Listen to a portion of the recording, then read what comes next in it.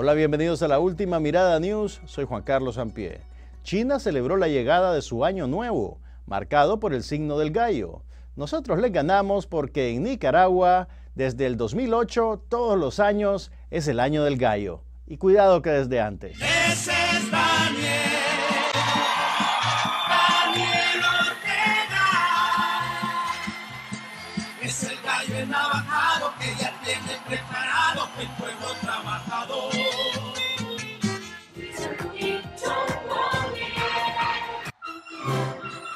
Ya que estamos hablando de esta cultura milenaria, veamos cómo le va en su horóscopo al chino más importante de Nicaragua, Wang Jing. Wang Jing nació en 1972 bajo el signo de la rata. Según la página yourchineseastrology.com, la rata, digo, Wang Jing, sufrirá daños y pérdidas en el año, tendencia a tener muchas peleas y disputas innecesarias que conducirán a mala suerte en cuanto a fortuna se trata. Vaya, menos mal que nosotros no creemos en esas cosas. Pero por si acaso, chequeamos también el horóscopo del comandante Ortega.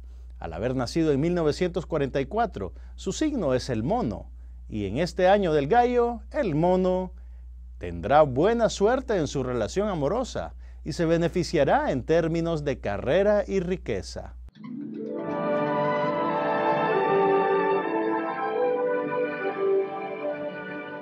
Con razón la OEA ni se molestó con la elección pasada.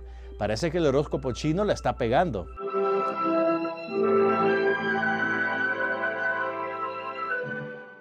Los diputados Byron Jerez y Alfredo César solicitaron a la Asamblea Nacional que los mande de cabilderos a Estados Unidos para detener la promulgación de la ley NICA Act.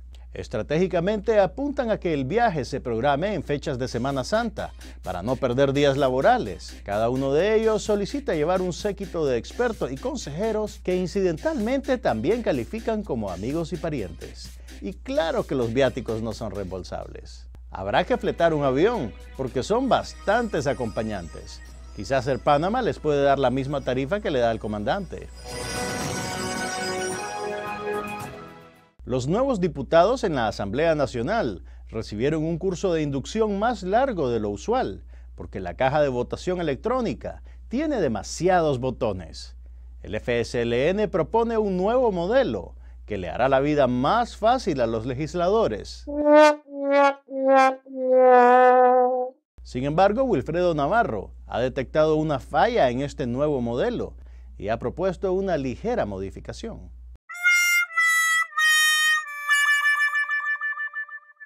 Uber ya no viene a Nicaragua gracias a la intervención del gobierno.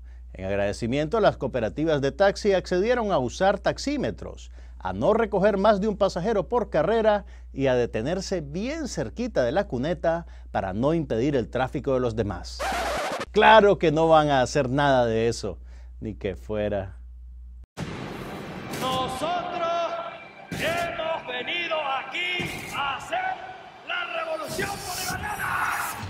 El canal de cable TNT ha estrenado una nueva serie de televisión que dramatiza la vida de Hugo Chávez. En Venezuela, el presidente Nicolás Maduro prohibió su transmisión. En contraste, en Nicaragua, el comandante Ortega llamó a los productores para ofrecerles que se pueda interpretar a sí mismo. Con Chávez vamos a dar una sorpresa. Pero esa serie no le llega al reality show que en Nicaragua vemos todos los días de la semana. La, compañera, habla. Buenas tardes, compañera. Buenas tardes, querida familia de nuestra Nicaragua, bendita, linda, siempre libre. Es solo una foto estática de la compañera y ella hablando por teléfono. Pero hay del canal que no la ponga y el empleado público que no la escuche. Here we go. The new Miss Universe is La francesa Iris Vitener fue coronada Miss Universo el pasado domingo en Manila, Filipinas. Así termina la febril especulación sobre el chance de Miss Nicaragua y los chances de cada uno de los 85 países que participaron. Porque créanme, en cada país ponían los mismos titulares.